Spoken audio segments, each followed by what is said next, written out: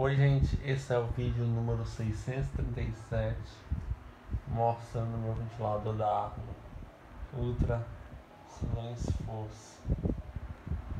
Vídeo número 637